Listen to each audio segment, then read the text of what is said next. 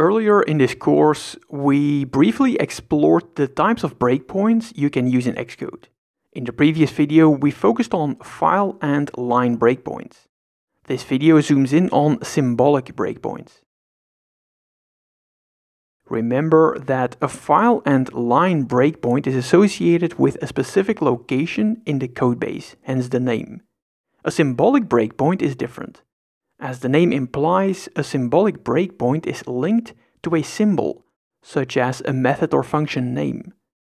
This type of breakpoint can be helpful for debugging problems that involve code you don't have direct access to. Let me explain what that means. Symbolic breakpoints are often used in scenarios in which your code interacts with a library or framework, including Apple's libraries and frameworks. Because you don't have access to the source code of the library or framework, it isn't possible to set a file and line breakpoint. Let me show you how symbolic breakpoints work and why they are useful. Let's revisit Cloudy. Add a file and line breakpoint to RootViewController.swift on line 158, a line of the fetchWeatherData method. If we run the app, the debugger pauses its execution on line 158 of RootViewController.swift. That should be familiar by now.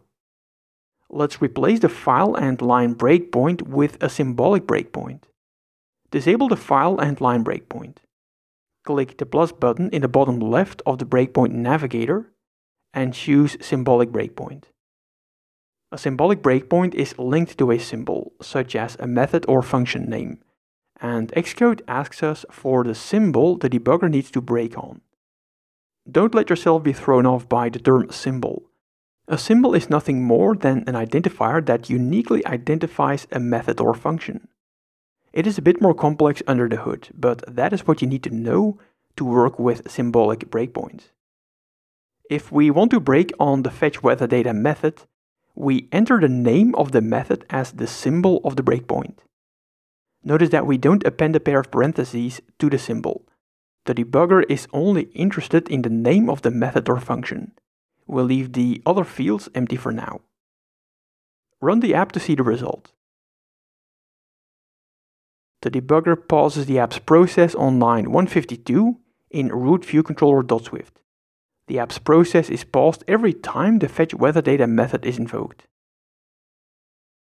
In the first example, we replaced a file and line breakpoint with a symbolic breakpoint. While that can be useful at times, symbolic breakpoints are mostly used to break on methods or functions you don't have direct access to. Let's see how that works with another example. Open main.storyboard and navigate to the Day View Controller scene. Add a view to the View Controller's view.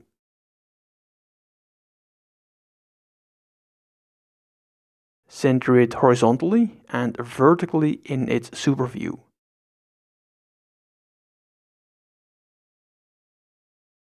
Set the width and the height of the view to 100 points.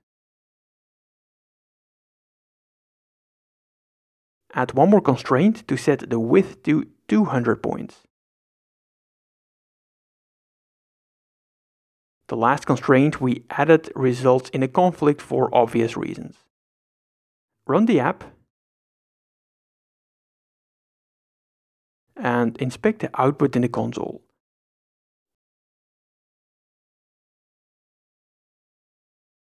Xcode warns us that auto layout isn't able to satisfy the constraints we defined in the storyboard.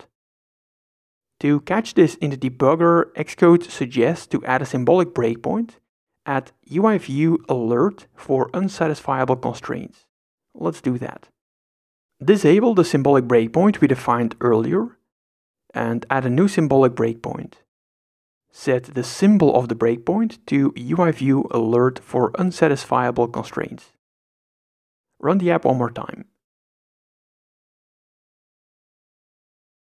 The debugger breaks the app's process the moment the symbolic breakpoint is hit.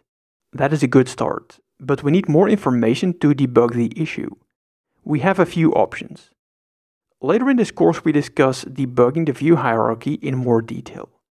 Another simpler option is to use the output in the console. The problem is that the console can become cluttered over time, and you don't always notice the warnings Xcode outputs in the console. For that reason, I tend to add an action to the symbolic breakpoint. We covered that earlier in this course. Every time the breakpoint is hit, we play a sound to warn us about the issue. We also check the checkbox at the bottom, automatically continue after evaluating actions, to resume the app's process after playing the sound. Each developer builds up its own collection of tricks and techniques to debug issues. There is no one solution to debug a problem. Symbolic breakpoints are very powerful and I find that they are underused. It is true that symbolic breakpoints are more advanced, and that is what scares many developers. I hope this video has made symbolic breakpoints less daunting. In the next video, we'll look at the Swift error and exception breakpoints. These breakpoints are helpful to debug problems that involve errors or exceptions.